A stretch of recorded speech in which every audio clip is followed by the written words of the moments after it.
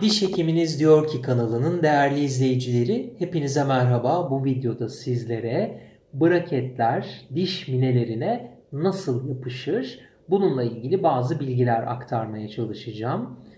Ee, şimdi özel yapıştırıcılar kullanıyoruz tabii ki braketlerinizi diş minelerine yapıştırmak için.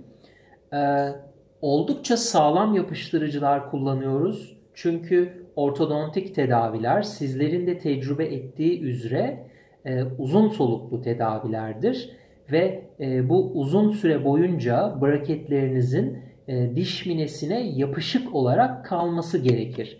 Tedavinizde bir aksama olmaması için ve planlanan sürelerde bitebilmesi için. Tabii ki braketlerin koptuğu bazı durumlar var. Bunu tecrübe etmişsinizdir.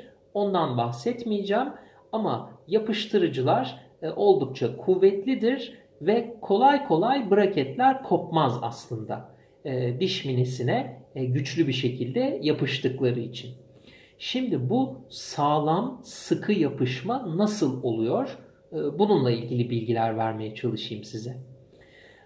Bir braketi diş minesine yapıştırırken 3 adımlı yapışma sistemi kullanırız. Bunlardan birincisi e, diş minenizi bir yapıştırıcı sürerek pürüzlendirmektir. E, mavi renkli ya da yeşil renkli pürüzlendiriciler vardır.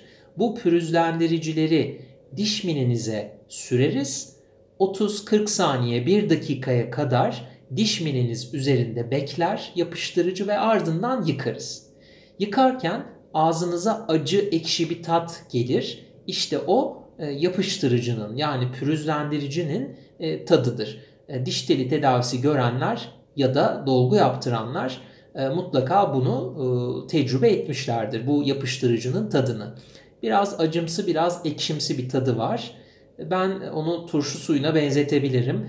Kendim de diş teli tedavisi gören birisi olduğum için ben de o yapıştırıcının tadını tecrübe etmiş birisiyim. Biraz turşu suyuna benziyor diyebilirim. Ee, birinci adım bu. Diş minenizi e, yapıştırıcı bir e, malzemeyle önce pürüzlendiriyoruz.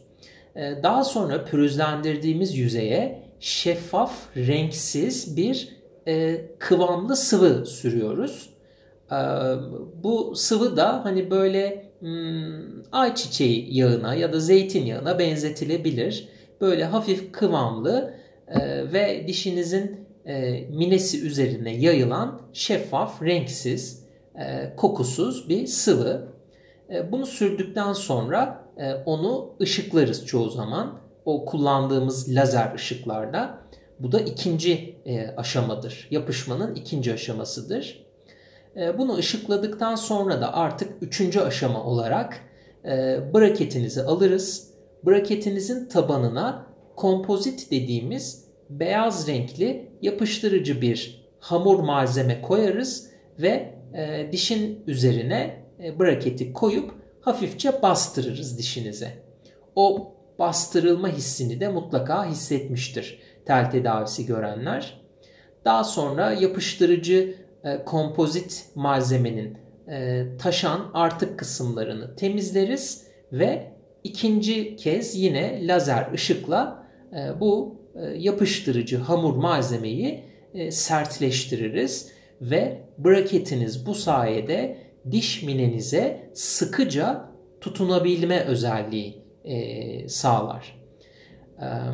Yani özetle bu videonun konusu bir braket diş minesine nasıl yapışırdı bunu anlatmaya çalıştım. Özetle şunları söyleyeceğim. 3 aşamalı bir yapıştırma sistemi kullanır pek çok hekim. Birinci aşamada bir pürüzlendirici kullanırız. İkinci aşamada şeffaf renkli bir yapıştırıcı kullanırız.